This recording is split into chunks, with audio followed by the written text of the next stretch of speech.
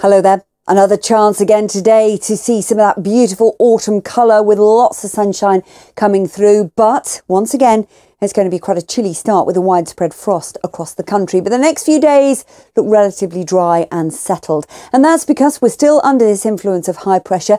It is starting to drift its way eastwards. And so as the winds swing round to a northeasterly or an easterly direction, we could run the risk of a few more showers here.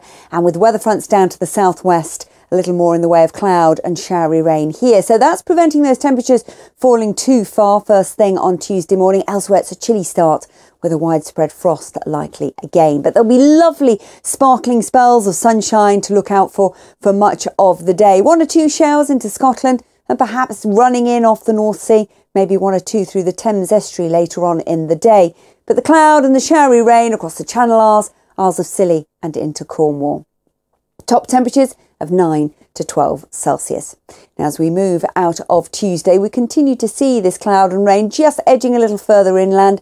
More cloud for South Wales, the Midlands, and towards the capital. Further north, we keep the clearer skies, and here a frost is likely again through Scotland and northern England with low single figures. But because of the cloud, temperatures further south at around 7 to 10 Celsius. So we are starting to see some changes develop on Wednesday as the high pressure drifts off into the near continent. But for the bulk of the country, it should still stay dry and settled. As you can see, most of the rain down towards the south, just a little more cloud again through Wales, the Midlands, and over to London. Further north of that, we keep that sunshine, but again, it's still going to feel pretty chilly 9 to 12 degrees.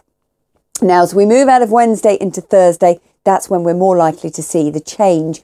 The frontal system starts to push in from the west, the high moves off into the near continent, and that is going to allow for a different feel to our weather.